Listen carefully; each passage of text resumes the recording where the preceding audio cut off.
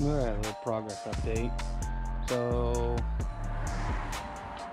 the frame notch is all in. Everything Ford 9.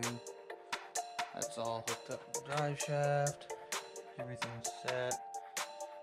Um, all I gotta do now is hook up the brakes. Just gotta run the lines to the new hose here. Uh, I ran all new stainless steel brake lines. Um, I didn't think that's what I got for a kit, but apparently that's what I got. Yeah, stainless steel brake lines. Um, just gotta run the wiring kit. Uh, I'm gonna run that out, hook up my clutch. Uh, yeah, there's the old frame out there. I had this door off, the other door off. We had the cab completely off that frame.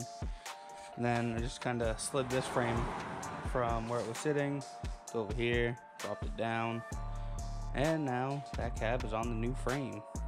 So, yeah, not bad, not bad. Um, I guess I just bolted up the master cylinder there, bolted that up, got the cab all bolted down. Now we just gotta run power wires here and there for the wipers and stuff like that. Um, gotta put a couple engine mount bolts in. Then the engine will be bolted down, and then I can finally start on the turbo log manifold for that.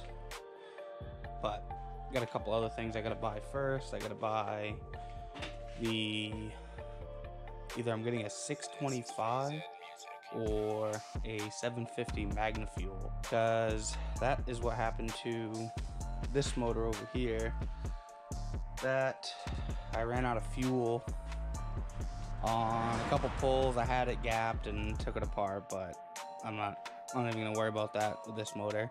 It's just a 6.0 I'm not even taking the motor apart.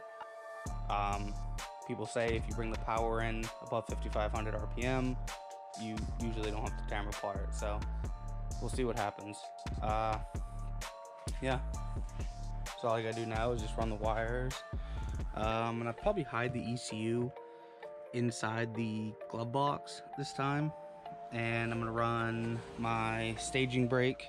I'm gonna run that the boost gauge. I'm gonna put up on the, the A pillar. And yeah this is pretty much just an update video.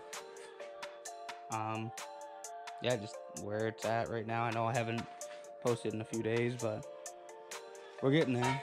So I mean I got the milestone done. I got the cab on. Now I just got to get drop spindles in, the drop springs out of that frame in, and then yeah, just hook it all up pretty much and fire it up. And then do a little bit of tuning. So hopefully within a month, this thing will be completely on the road and ready to go. All right, just making a short update video for you guys and letting you know where it's at. Yeah, stay tuned. More to come.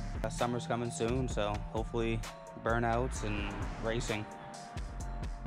All right, stay tuned, guys.